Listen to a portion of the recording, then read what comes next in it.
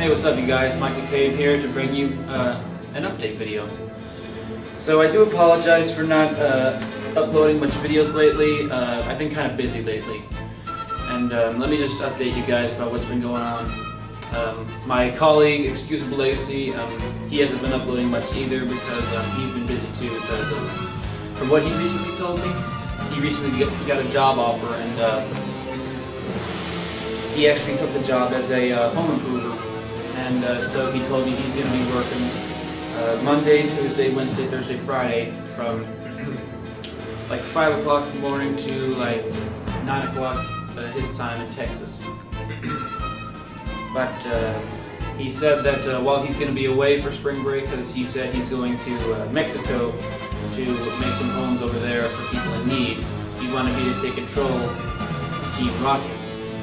And um, you guys need to hear me out on this. Some of you may not know what Team Rocket is all about, so I'm going to tell you about uh, what it's all about. Here's the backstory of Team Rocket.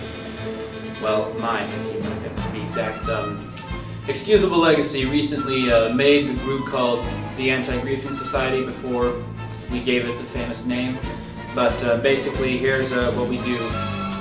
Um, basically, when I joined the Anti-Griefing Society, basically it was just a regular society for striking back against the mean people on online gaming societies, like, you know, griefers, trollers, and just bullies in general, because you can't let anyone get pushed around on there, because that's a big no-no for me.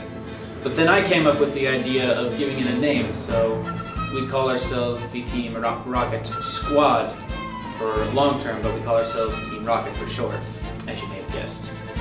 But basically, um, he, Legacy created this group just so we can strike back against, you know, griefers, trolls, and bullies, because that's a big no-no for us. And uh, I actually worked my way up to um, becoming co-leader of that team, because, you know, I've been so loyal to the team, and Legacy and I, we're like brothers.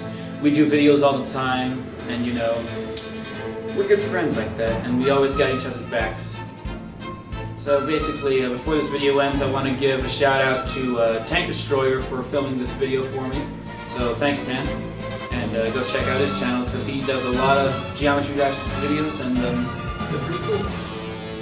And uh, before this video ends, I'm going to tell you guys that I'm going to be temporarily taking control of Team Rocket uh, from March 11th to March 17th on St. Patrick's Day. So thanks for watching, guys, and I'll catch you guys later. Peace.